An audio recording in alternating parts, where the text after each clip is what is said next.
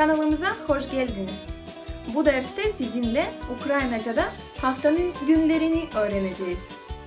Haftanın günlerine Ukraynaca'da dni тижня. Дні тижня денір. Пазартесі, понеділок,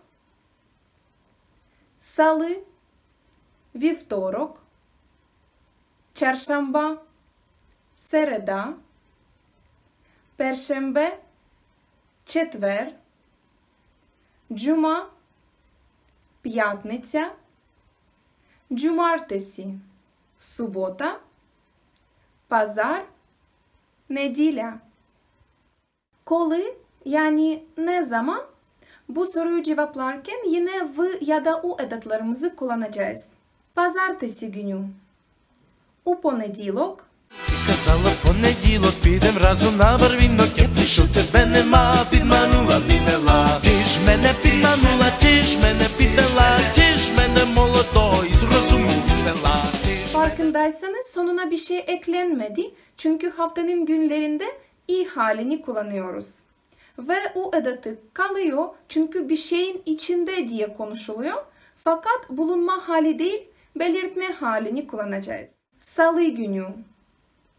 У вівторок, казала, що вівторок поцілуєш раз і сорок. Я прийшов, тебе нема, підманула, підвела. Ти ж мене підманула, ти ж мене підвела, ти ж мене молодого із розуму звела. çarşamba günü. У середу, Казала, що в середу підем разом на череду. Я прийшов, тебе нема, підманула, підвела. günü. У четвер, Ти казала, що в четвер підем разом на спацер. Я прийшов, тебе нема, підманула. Ти ж. У п'ятницю, І казала, що п'яницю підем разом на вулицю. Я прийшов, тебе нема, підманула, підвела. Ти ж cumartesi günü. У суботу, І сказала, що суботу підем разом на роботу. Я прийшов, тебе нема, підманула, підвела. Pazar. У неділю.